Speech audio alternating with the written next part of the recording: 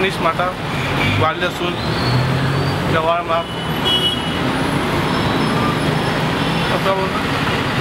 आपका जो भी सजेशन है। हाँ? आपका जो भी सजेशन है क्या करें पहले पार्किंग में ऐसा नहीं है। टैक्सी जाम हो जाता है शाम तो सात आठ बजे। और कार में ऐसा नहीं है।